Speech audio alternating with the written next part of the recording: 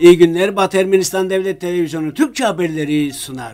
UNESCO'nun Batı Ermenistan'daki Aslantepe Höyü'nün kalıcı listeye girmesi kararı Temmuz ayında netlik kazanacak. Arayik Harutunyan, Nahçıvanik'te yeni bir bahçe ekiminin başlangıcına katıldı. UNESCO'ya çağrı.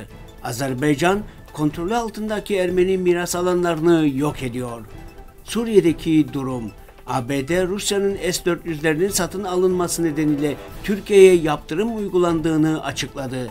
Yerevan Tarih Müzesi'nden röportaj. UNESCO Dünya Mirası geçici listesinde yer alan Batı Ermenistan'ın Malatya'daki en eski şehir devletinin kurulduğu Aslantepe Höyü'nün kalıcı listeye girmesine yönelik karar Temmuz ayında netlik kazanacak. Aslantepe Höyü'nde başlayan kazılarda üçte birlik bölümünde çalışmalar tamamlandı. Geç kalkolitik dönemden demir çağına kadar geçen tarihsel sürecin buluntularına rastlanan Aslantepe, Hititlerden Roma ve Bizans'a kadar pek çok medeniyete ev sahipliği yaptı. Geçmiş yıllardaki kazılarda geç Hitit dönemine ait girişinde aslan heykelleri ve devrilmiş kral heykelinin bulunduğu höyükte dünyanın ilk yağmur drenaj hattı gibi şehir altyapısı bulunan kerpiçten saray ve 2000'i aşkın mühürle ilk şehir devletinin yapıları ortaya çıkarıldı. Aslantepe Höyü Ermeni halkı tarihinin de bir parçasıdır. Aslantepe'nin UNESCO Kültür Mirası kalıcı listesine girmesi için 2004 yılından beri çalışmalar yürütülüyor. Aslantepe o tarihte geçici listeye alınmıştı. Artsakh Devlet Başkanlığı Basın Departmanlığından NÜSAYM'e verilen bilgiye göre Artsakh Cumhuriyeti Devlet Başkanı Aray Karutünyan, Güvenlik Konseyi Sekreteri Vitali Balasanyan ve bir grup diğer yetkililerin eşliğinde Hadrutlu bir Ermeni iş adamının girişimiyle gerçekleştirilmekte olan yeni bir bahçenin açılışına katılmak üzere Askeran bölgesindeki Nahçıvanık köyünü 5 Nisan'da ziyaret etti. Başkan Arutünyan, Hadrut'un ve diğer işgal edilmiş bölgelerin geri dönüşü ve vatanımızın kalıcı güvenliğini sağlama hedeflerine ulaşmanın yolu Artsak'ın gelişmesiyle başlar. Bunun önemli bileşenlerinden biri ekonominin yeniden yapılanmasıdır, dedi. Devlet Başkanı ayrıca Askeran bölgesine bağlı Sarnakbir, Vardazor ve Dahras köylerini de ziyaret etti temas hattının güçlendirilmesi, nüfusun güvenli yaşamı, konut ve alt bölgelerin kalkınma konuları tartışıldı.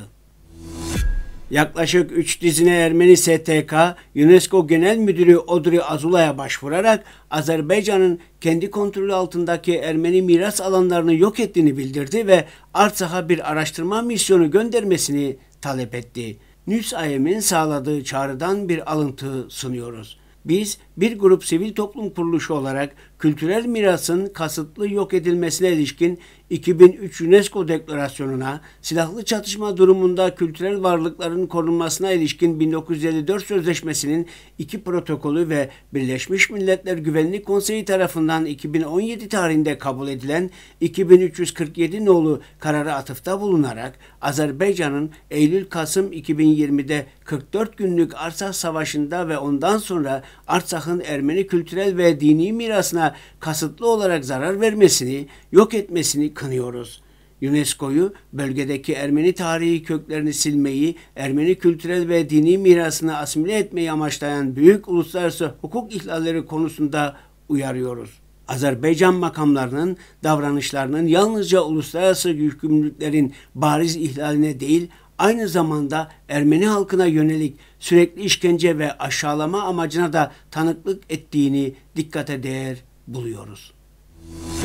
Damaskos Herald sitesine göre Suriye Demokratik Güçlerinin terörle mücadele birimleri El Hol kampının birinci ve ikinci bölümünde 8 IŞİD militanını ele geçirdi. Ayrıca hükümet güçleri Rusya hava güçlerinin desteğiyle Suriye çölünde Homs, Derzor ve Rakka illerinde 15 İslam devleti militanını etkisiz hale getirmeyi başardı.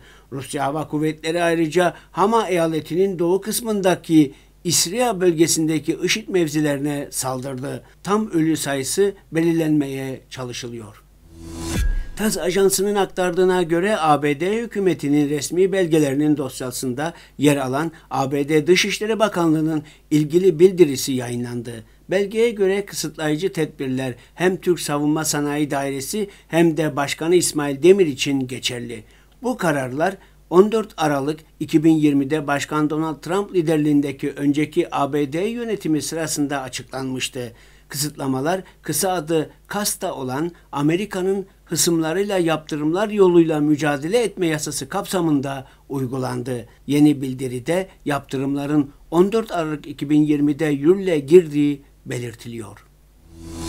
Batı Ermenistan Televizyonu Vesten Armenia TV'de Yerevan Tarih Müzesi'nin yeni tarih bölümü başkanı Susanna Harutyunyan o dönemin tarihini anlattı. Söyleşi sırasında Yerevan şehri halkının yaşamına ve adetlerine değindi, sergi salonundaki eşyaları, tarihlerini ve önemlerini sundu. Röportajın tamamı YouTube kanalımızda mevcuttur.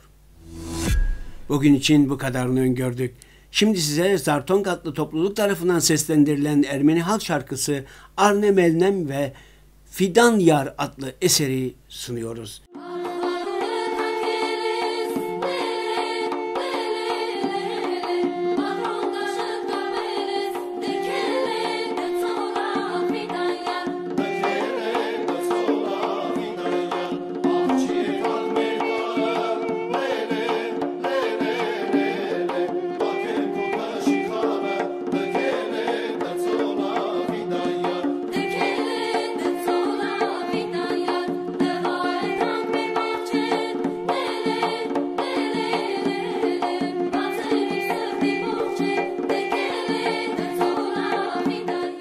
Eserin tamamını Batı Ermenistan Devlet Televizyonu'nun resmi sitesinden izleyebilirsiniz.